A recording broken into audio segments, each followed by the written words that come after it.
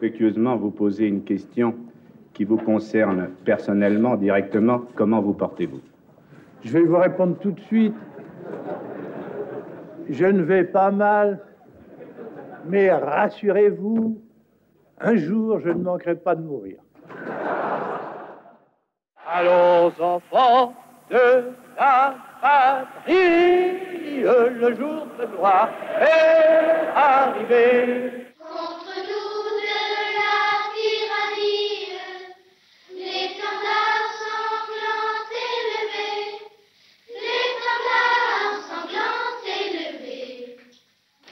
Observer une minute de silence, un hommage à la mémoire du général de Gaulle, dont le nom est déjà inscrit dans vos livres d'histoire. Une minute de silence.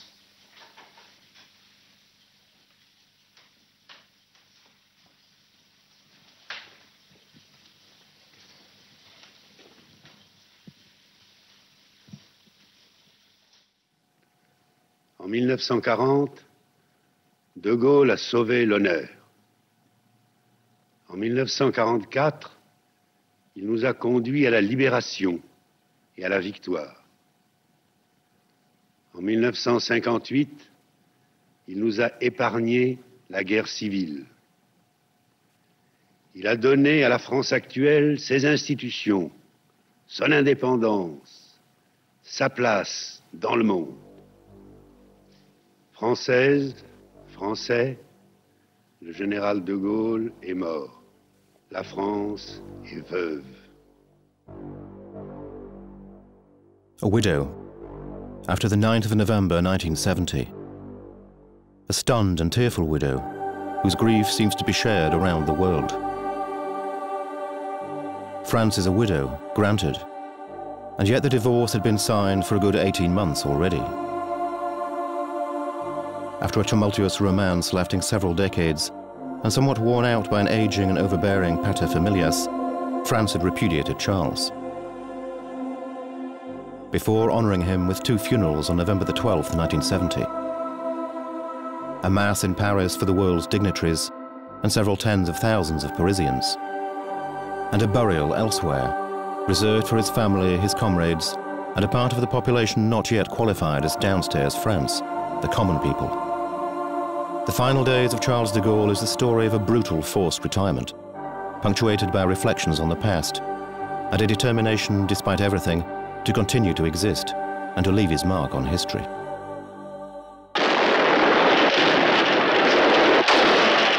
How many wounds does it take for a giant to fall? It would take just two for de Gaulle to die his first death. In the autumn of his days, the first blow came with a month of May that exploded in a fury of protest and demands. It is 1968. De Gaulle and a whole political class still clings to a grand epic vision, but another part of France wants to move into a new era. His legend would little by little diminish in the eyes of the French. His natural authority dwindled. It had been undermined by the left and would be defied by the crowds of young people. And so he felt challenged. De Gaulle falters in May 68, but believes he can come back with a new springtime. He decides to defy the country's defiance and sets the date for April 28, 1969, a final political coup against a part of the country that had created its own version the year before of Is Paris Burning? Si je suis désavoué par une majorité d'entre vous, ma tâche actuelle de chef de l'État deviendra évidemment impossible et je cesserai aussitôt d'exercer mes fonctions. Oui, 10 669 015 non. 11 966 550, le projet de loi référendaire n'est pas adopté. Dépêche AFP, le général de Gaulle communique Je cesse d'exercer mes fonctions de président de la République. Cette décision prend effet aujourd'hui à midi. Many of those who were close to him and in his family thought, of course, that he'd been killed, in quotes, by the failed referendum and by the fact that the French people had rejected him. He was cut to the quick by the circumstances of his departure. Between 1968 and his death, it was like a ship sinking. He'd always said about other people that old age was a shipwreck. And for him, it was particularly humiliating. De Gaulle was forgotten, that's all. And that was the worst about that period. De Gaulle was a shadow of the past. After his resignation, de Gaulle apparently said, I have to leave because the French people have grown tired of me, and I myself have grown tired of the French people. I no longer owe them a thing. He leaves the Republic for the realm of oblivion and heads for La Boisserie, a property he bought in 1934 at Colombey des Églises. He has but 600 days to live when moments last for minutes or hours, and hours drag on for days, days for weeks. In this small village in Champagne, halfway between Paris and the German border, he and his family had always sought to protect their privacy. Just a few days after resigning, the general summons Louis Blanc, a diplomat and former official at the Elysee Palace. The retired hero has decided to write his memoirs. He was at Colombey from April 27th onwards. Euh, During the following 48 hours, he received visits from his general secretary, Bernard Tricot, who's dead now, and Xavier de la Chevalerie, his chief of staff, who's also dead. And he told Xavier de Chevalerie if Blanc is not leaving on a mission, tell him I need him for my memoirs. So, when the general says, if Blanc isn't leaving on a mission, then that means Blanc isn't leaving on a mission. So I immediately told Le Chevalerie, you can tell the general that I'm not leaving on a mission. And then, very rapidly, as of mid May, il a commencé à m'envoyer des. He started sending me requests for various documents. Parce qu'au fond, le besoin. He needed that because there were no archives at Colombey. Euh, à Colombey, il n'avait aucune archive. To start with, he perhaps thought that he would still be called back. And then gradually the cloak of oblivion slipped over him somewhat, and he very quickly got that idea out of his head. He saw himself as becoming an ordinary citizen again, so he withdrew, back to the base camp, as it were, to his property at Colombey, les Deux Églises, with Madame de Gaulle. And they planned to do what any ordinary people would do that is, to travel. They envisaged a change of scene somewhere. And so, suddenly, without warning, de Gaulle leaves Colombey. On May 10, 1969, at 7 o'clock in the morning, Yvonne de Gaulle announces to the staff at the house pack up the bags, we're leaving for Ireland. Why does de Gaulle decide to leave two weeks after the failed referendum vote when the writing of his memoirs appears to be so urgent. The general never liked the 18th of June. It was no secret to anyone. He'd always said, I'm not the man of a single day. He didn't want people to call him the man of June 18th. It was an expression that he hated. And he thought that being out of France on June 18th would prevent any kind of belligerent, rebellious, or seditious remarks being made by anyone who might have had such intentions. One way, perhaps, of once again making the news, of saying in his own way, bugger it. Painfully aware that the great moments in history are accompanied by bitterly down to earth realities. And so it was with the famous broadcast of June 18, 1940, urging France not to accept submission. The BBC provided a microphone in their airwaves, routinely noting the event in their records. De Gaulle speaks on behalf of a France that refuses to lie down and die, the momentous occasion confined to a dusty archive document. Name of speaker General de Gaulle. Title or subject France will continue the struggle. Date June 18, 1940. Time 10 p.m. Remarks Duration 4 minutes, no payment.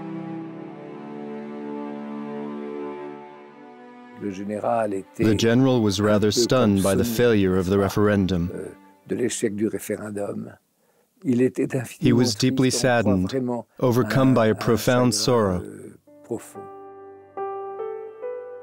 He left, as you know, like an injured animal, to lick his wounds outside of France.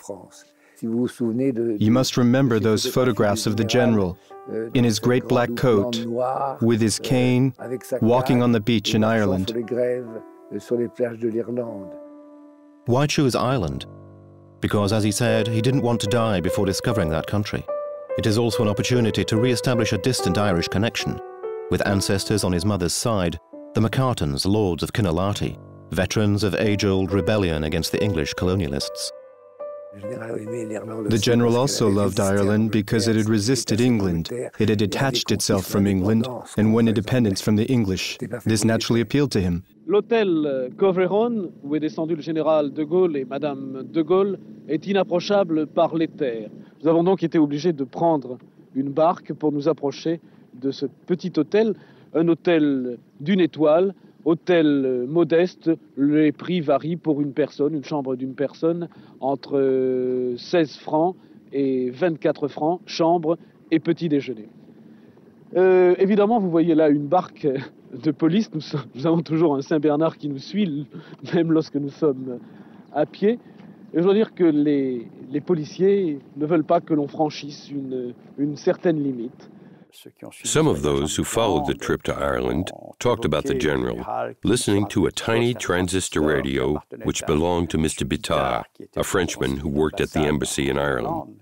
So there's the general, with this little transistor radio, listening to the news coming from France. It was extraordinary. The great man who had been in power with a simple radio, listening to the news from his country, a country he had just disowned in some way.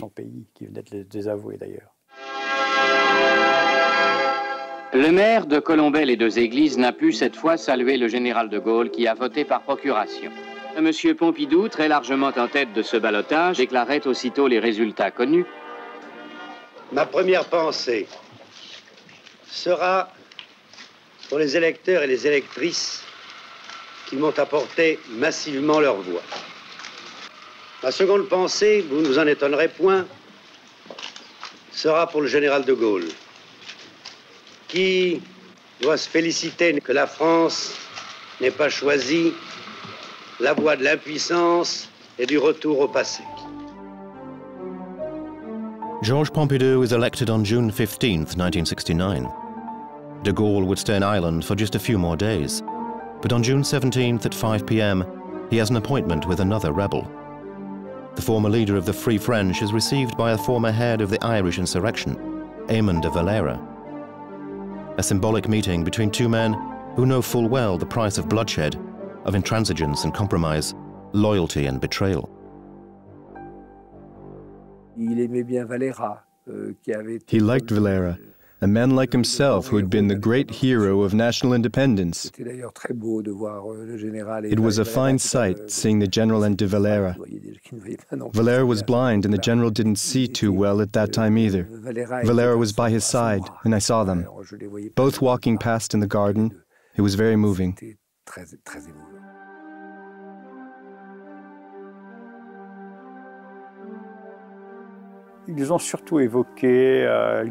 Above all, they talked about Ireland in Europe. It didn't really go any further than that. Euh, Toasts were made, euh, but there weren't any startling announcements or revelations that emerged from the meeting. They were simply making contact. They were happy to meet, and there were no direct consequences. In any case, the general didn't want to be involved politically. He was out of power, and certain things were drifting away from him. Various aspects of his life were fading away from him.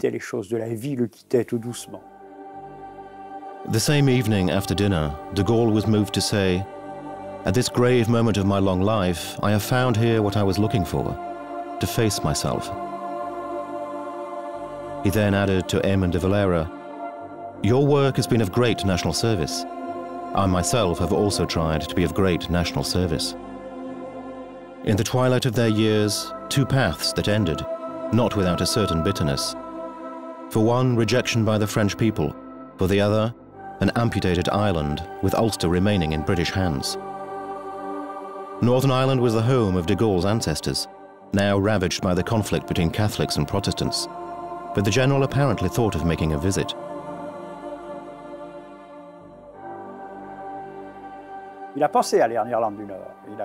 He thought about going to Northern Ireland. He considered that, but he was dissuaded from doing so. He mentioned he wanted to go to Northern Ireland in speaking to various people, but they dissuaded him because, in view of the situation, it wasn't really politically correct.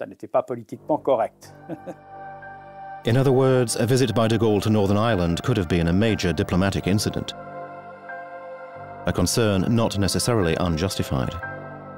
On June 19th, at a final reception, just a few hours before leaving for France, he proposed a toast.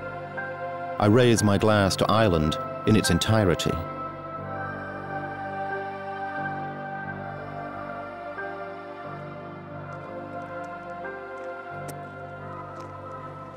The trip had lasted six weeks. On June 19th, the Irish landscapes were replaced by the countryside of eastern France, and de Gaulle returned to Colombey. From now on, his life would continue almost exclusively at La Boisserie, with strict day-to-day routines, rigid schedules, and one ultimate aim, his memoirs. I saw him at Colombey for the first time at the beginning of July. And he was just the same as always. Comme il était toujours, très very regal and composed, very kind, extremely pleasant, euh, and keen to work on the publication euh, of his speeches and on writing his memoirs. One had the impression this was a man who had been hurt, but who had regained a certain balance and was ready to get down to work. I arrived, and it was announced to the general, euh, Blanc is here. And at the appointed time, the office door opened, and I went in. We stopped at 1 o'clock, and he would leave the office and turn the television on. Euh, when there were guests, drinks would be served. In fact, it was often me who served the drinks. He asked me to serve the drinks, and then we sat down at the table. On restait pas longtemps à table. We didn't stay at the table for long, and we'd get up and move into the living room, on prenait le café, where we'd have coffee and a pousse café, a liquor, and it was me that served the general with this liquor. Et tout ça était très it was all very organized, always at the same time, very punctual. If I was alone, we'd have coffee, and immediately afterwards, we'd get back to work again, which I wasn't too pleased about, because after a meal, I quite like to take a nap, even if it's only for five minutes. But there was no question of that with him, so we'd go back to work.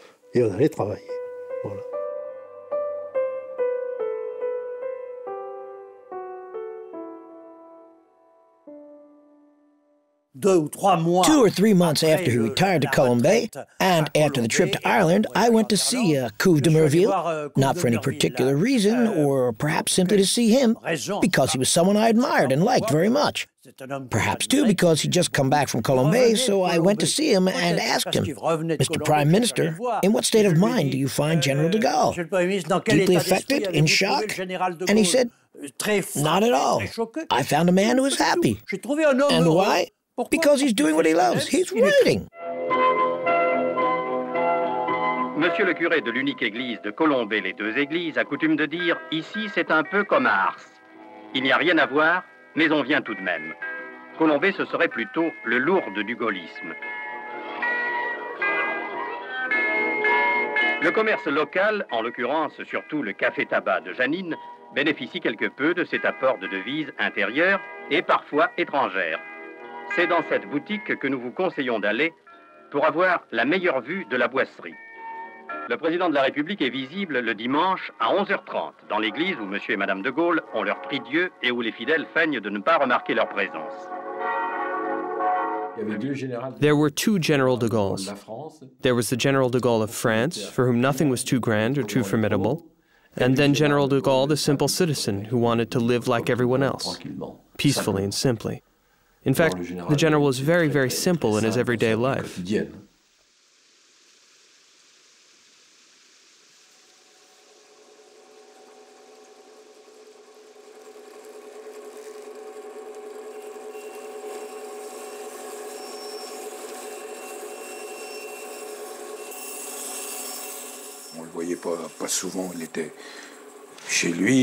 We didn't see him very often. He was at home and he didn't go out much, just occasionally. Madame de Gaulle, of course, would go out shopping. For us, he was just a local inhabitant like anyone else, except that he was certainly someone with a higher rank than us. But the man lived like we live. La période de, de l'hiver. Euh, In winter, for food, if we were eating stew, then he ate stew like we did. He wasn't a man looking for anything else. No fuss. They were interested in village life like any ordinary citizens. In any case, even if we didn't see him very much, he knew what he was doing in the country. Do you still see him as a great man today? Yes, more than certain politicians at the moment.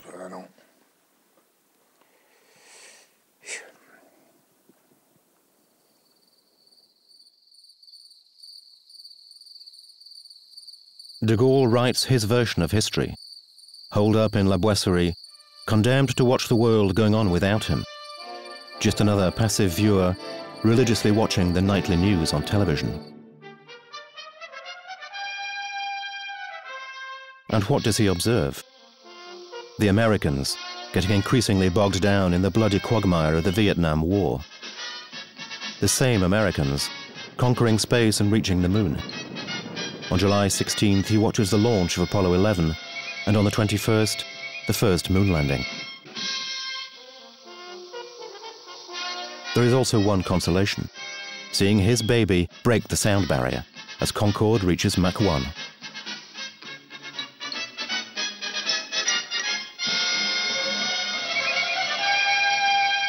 But what does he feel when a new generation of unknown men start making their mark on history as the great figures of his own era disappear?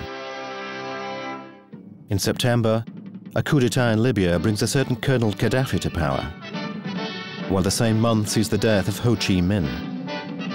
Uncle Ho, the former enemy, one of the leading protagonists in Uncle Sam's failure and the French defeat in Indochina, a man the general would have liked to meet to establish peace among the brave. Ho Chi Minh dies at the age of 79, the age of the retired General de Gaulle. Does he sometimes wonder when his hour will come, when and how death will strike? I don't think he was afraid of death. What bothered him about dying was that it stopped him from finishing his work. And despite everything, euh, he had the feeling that something could happen to him. Something that I believe happened to his father, but I'm not sure and certainly to one of his brothers. And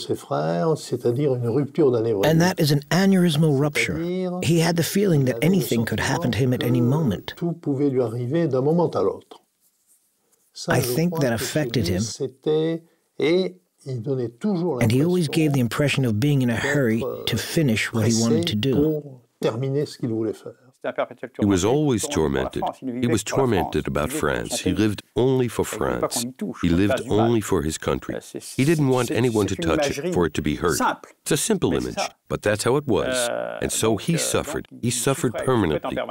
He suffered from the fact that the French rejected him, it's true. And he suffered for two years, as Madame de Gaulle admitted. But he suffered a little less as time went by. With the healing effect of time, he little by little suffered a bit less. He buried himself in his memoirs, and writing was of great solace to him, of great moral support. De Gaulle writes, receives visits from his family and a few close friends, and takes long walks in the Dhuits forest, not far from Colombey, one of his few activities outside La Boisserie. There are also a few rare moments shared with certain villagers.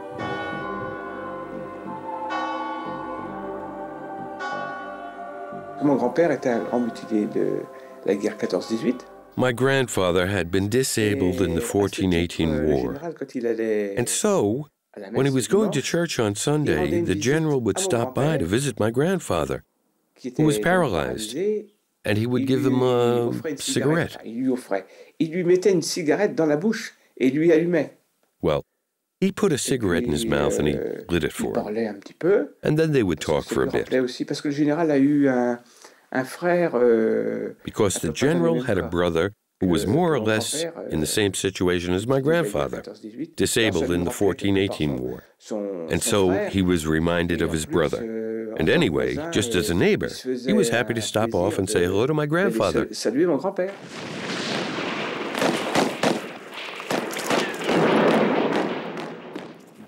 Do you think they talked about the Great War, the 1418 war? Oh, oh yes, certainly, yes. I'm sure they did. They were bound to be quite painful times to remember, but then it was still very much in people's minds at that time.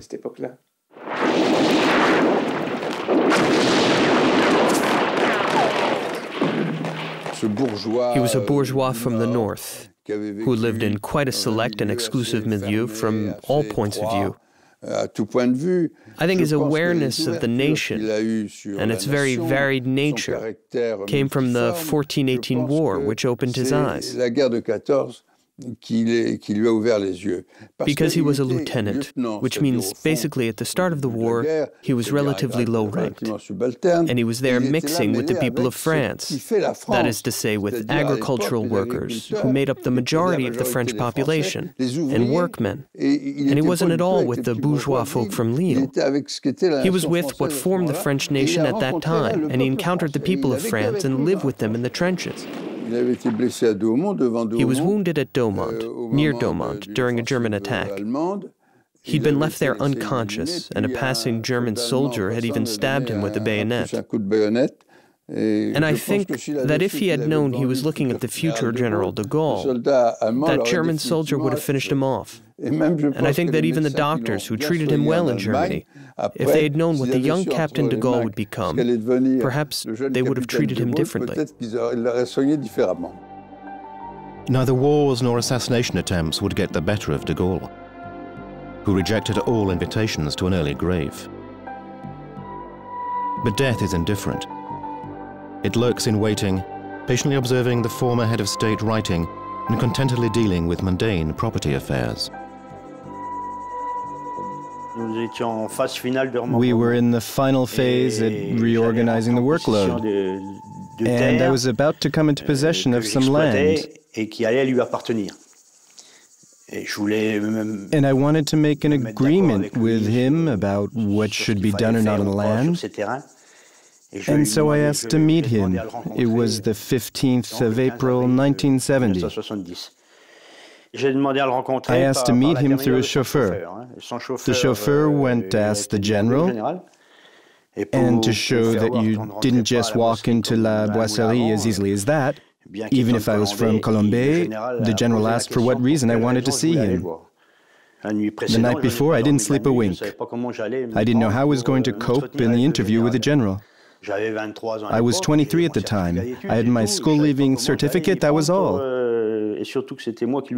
I didn't know what I was going to say, and as it was me that had asked for the audience, it was up for me to talk first.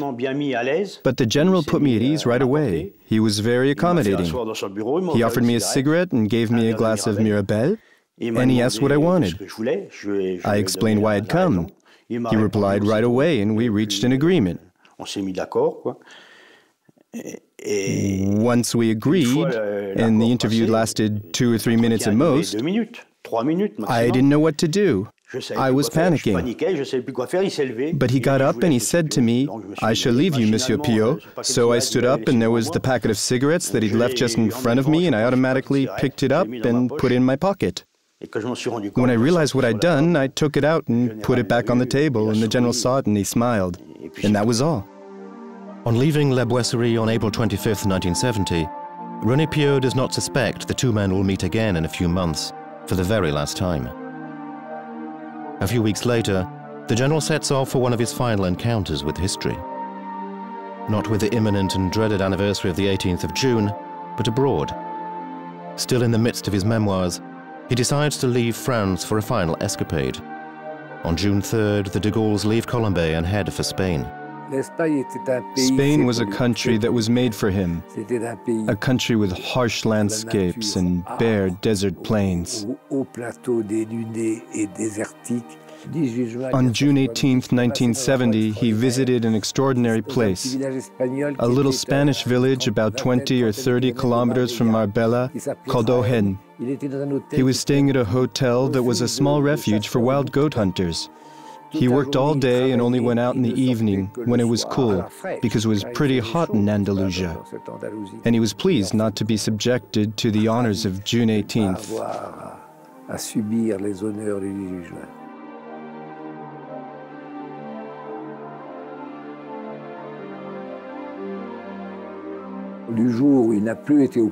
The day he was no longer in power, when he became a free man again, he wanted to see Spain, the land of Charles V, historical Spain, and of course he wanted to see General Franco, for whom, whatever my father and many others might say, he perhaps had a secret esteem. Franco was an enigma to him. He wondered how Franco had lasted in his country, what he'd been able to do, how he held on, etc. It was an enigma to him.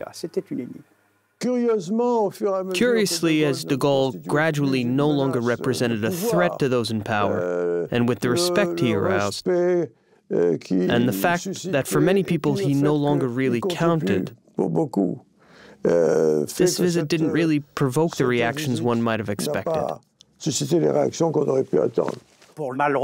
For Malraux and Mauriac, a meeting with Franco obviously wasn't designed to please them. I believe Malraux made this more or less clear, and for Mauriac, it was something of an ordeal. Mauriac must have said, It's punishment for my sins.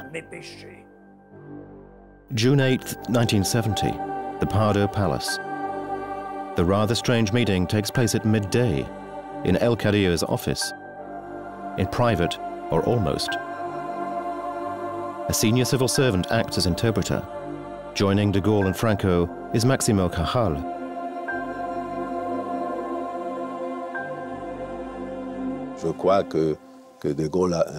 I think that de Gaulle, from an intellectual point of view, was more solidly grounded, I might say. Franco had a voice that in Spanish we call aflautada, quite high pitched, not very pleasant, quite disagreeable. But then, his voice was his voice. So that was, I don't really know how to explain it. And then the way of talking. The general underlined what he was saying with his hands and arms, whereas Franco was much more passive.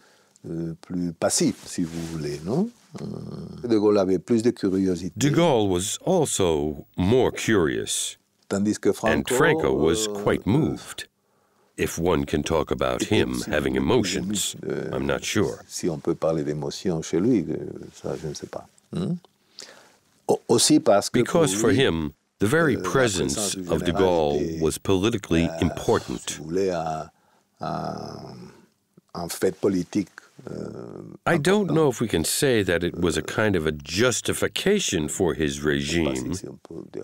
Mm. But for him, it was something very positive. I had the impression he was a little disappointed by the man. He was perhaps expecting to see someone more prominent than what he saw. In human terms, I mean. What makes you say that? I don't know. Uh, from what he didn't say, he didn't make any very positive remarks about the man he met. He didn't say he was a very capable man of great intelligence. He said nothing, just that he had found him to be somewhat lethargic.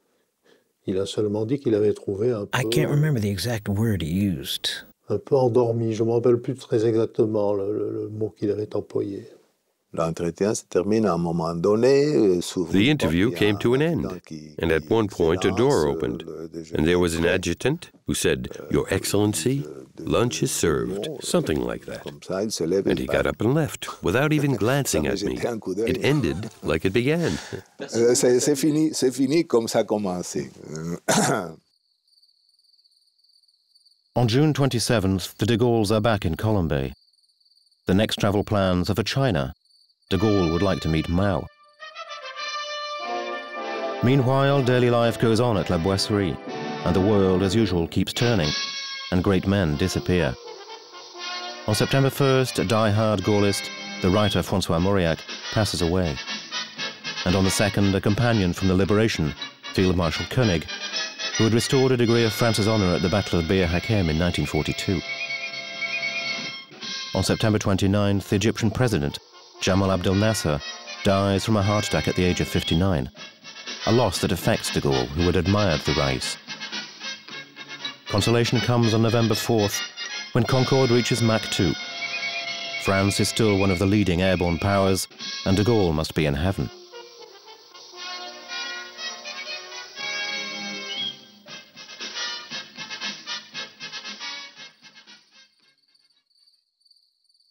Has now but a few days to live. At a time when he triumphs once more, dragging himself out of the oblivion France had confined him to.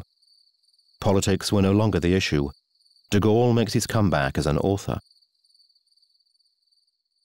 Notre seule consolation, pour faible qu'elle soit, sera d'avoir suggéré au général de Gaulle d'avancer la date de publication des Mémoires d'espoir, qui était primitivement fixée au 20 novembre 1970. Sans cela, l'écrivain Charles de Gaulle n'aurait pas assisté à la publication de son œuvre. Nous espérons lui avoir donné une joie dont nous ne pouvions pas imaginer qu'elle serait l'une des dernières. À un moment, on travaillait dans son bureau. At one point, we were working in his office, and I heard a sort of whistling noise. Un oiseau qui and I thought, there must be a bird singing somewhere. And it was the general who was whistling. He was quite pleased with the work he'd done and the reception his memoirs had been given, which was substantial. That was the last time I spoke to him. The de Gaulle revival.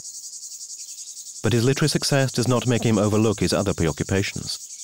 On November 9th, he asked to see his neighbor René Pio again.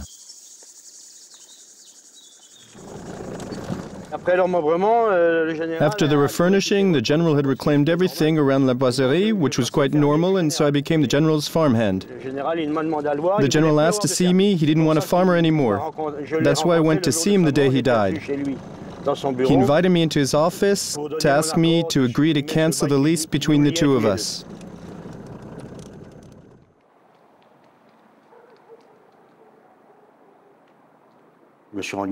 I went to La Boisserie, and he was very talkative. I was in his office for 15, 20 minutes, and he asked me a lot of questions about our work, about the building we were constructing, my family, my children, everything. He was very chatty. And there was no sign he was going to die that very day. And as we were in the process of building stables for the animals, he said, it must be expensive building something like that. And he added, if you're in difficulty, I can help you. He said in so many words, the general is quite comfortable. But on the other hand, he didn't offer me a Mirabelle like the last time, and as he went out of his office, Madame de Gaulle, who was knitting in the library next to the office, she remarked to him that he hadn't offered me anything.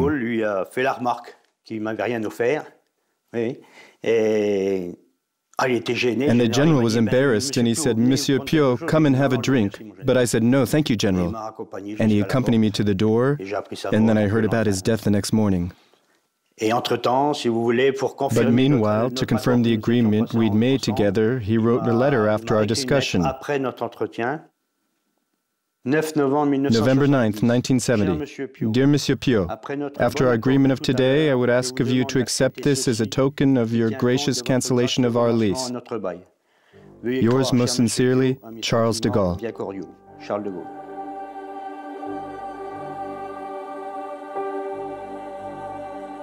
One of his last written documents, to which de Gaulle adds a check, a generous gesture, one of his last with regard to other people.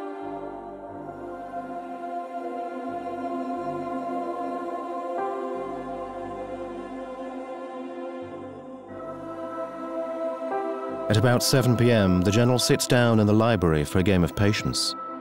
Suddenly, he puts his hand on his back and apparently says, It hurts, before collapsing. A priest and a doctor are immediately called for. Je me posais des questions à savoir ce que j'allais trouver, compte tenu de l'âge du général, compte tenu de ses antécédents, je pensais qu'il pouvait faire euh, un accident vasculaire cérébral aigu, un infarctus, et que j'aurais certainement des dispositions rapides à prendre, euh, du style évacuation, euh, etc. Je me suis précipité dans le, salon où le général était étendu sur un divan, encore vivant mais inconscient. Dégoulinant de sueur, agité, ça signait euh, l'accident vasculaire aigu. Il est mort, donc, sous vos yeux. Il était en train de mourir quand je suis arrivé. Il y avait Madame de Gaulle, il y avait Marou, il y avait les deux servantes, et il y a eu d'un seul coup comme euh, un silence. Il, quelque chose venait de, de, de s'écrouler, de s'effondrer. Et une heure après, je... One hour later, his chauffeur came to inform me of the death. It was a moment of great emotion, something of a catastrophe, and he died so suddenly. It was at that point with the chauffeur that we decided that I would go to La Boisserie the next morning at 7.30 to see about organizing the funeral, because obviously it was all top secret. Because we didn't really know where the Admiral was, for example, so we needed time for him to be informed rather than him hearing about his father's death on the radio. General de Gaulle's heart stopped beating at about 7.30 p.m. And so began his last great rendezvous with the world. At the forefront of events was Colombey-les-Deux-Églises. The village became a part of history, as did the general himself, when his death was officially announced on November 10th. I immediately called a council meeting, which was held at 1.30. Then at 2 p.m. we visited La Boisserie, and at 3 o'clock we met with the various authorities that we'd called in, the prefecture, the gendarme, the local ministries, etc., in order to finalize the funeral, which was scheduled for two days later, on November 12th at 3 p.m.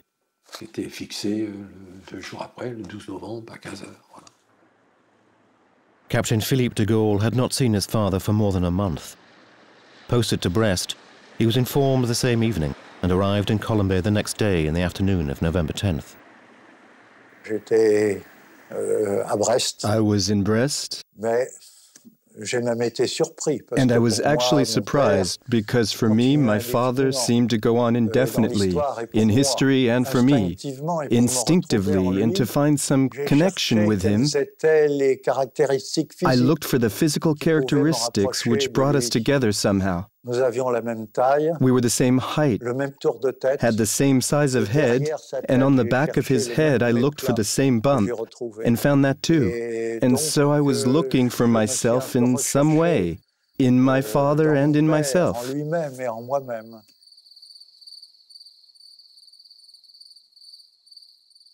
It was me who suggested to General de Boissieu that the general should be carried by young people.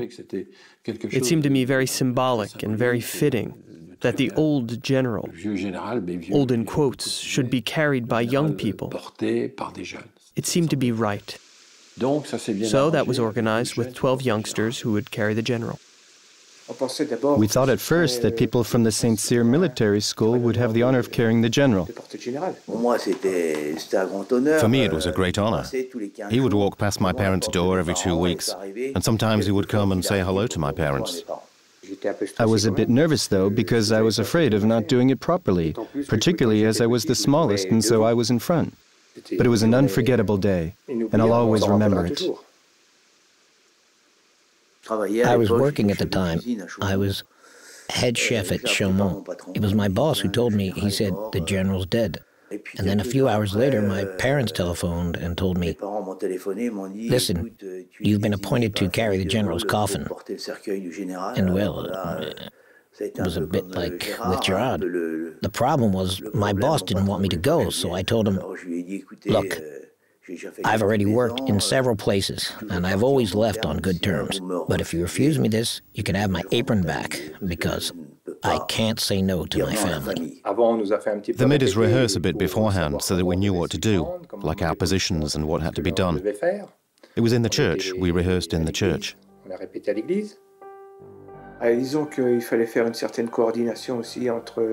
Well, we needed a certain coordination between bringing the coffin out and putting it on the armored car. It all had to be fairly smooth and well organized, and we had to walk slowly. But in actual fact, it all came together, and I think it was the emotion that helped us all. We didn't make any false moves. I remember when we came out of the church to go to the cemetery, and I got my left foot caught up with my right foot, and I hit a step because there were steps leading into the cemetery. I was terrified of missing a step or falling or I don't know what. I didn't want to fall down. I would have looked really stupid.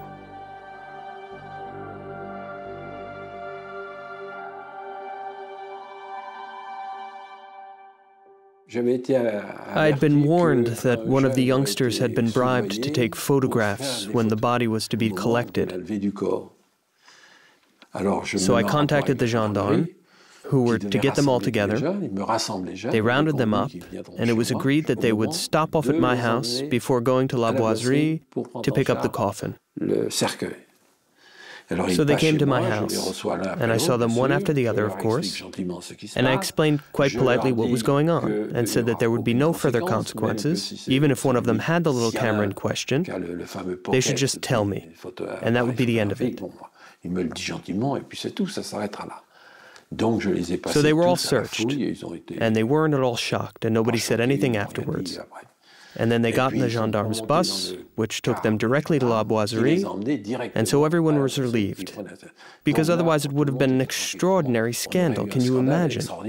Photos taken at La Boisserie, with Madame de Gaulle and everything, at the moment the body was to be taken from the house. It would have been an unbearable scandal, and the mayor would have been caught up in the whole affair.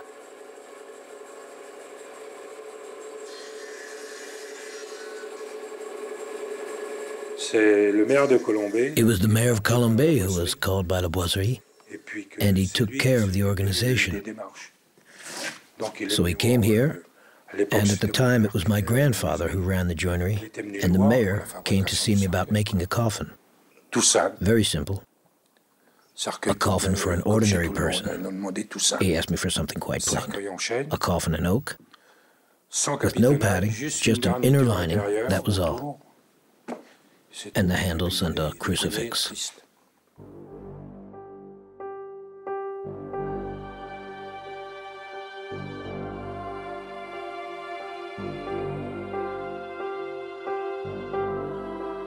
At the time, I was a choir boy, and I had the honor and privilege of officiating at his funeral. Officiating as a choir boy, and I was to the right of Abbe Jougouet, so I had the coffin right opposite me with the Saint Cyrens around it, and the family just opposite. And of this ceremony, I can remember pretty much every detail. There was a very special atmosphere. The village had been invaded. As you know, the village of Colombey has 400 inhabitants, and the village was invaded by a crowd of people. A tightly packed, dense crowd of people mourning, sad people. The atmosphere was very gloomy.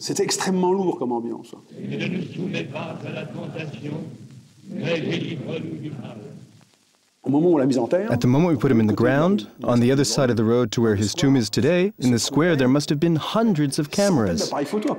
You couldn't see the crowd behind, and they were clicking away nonstop. So that added to the particular atmosphere, because it's things like that you never forget.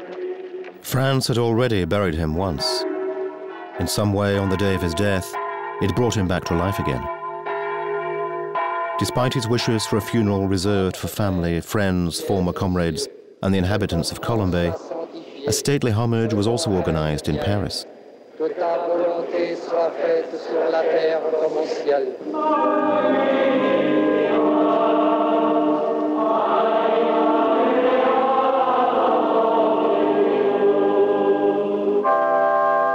La nuit et la pluie enveloppaient l'Arc de Triomphe lorsque des milliers d'hommes et de femmes se sont trouvés réunis dans une même pensée. Entre l'appel de juin 40 et ce jour de deuil national, tant d'événements retentissants ont marqué l'histoire de la France et la vie de Charles de Gaulle, que sa légende ne pourra que se prolonger très loin dans l'avenir.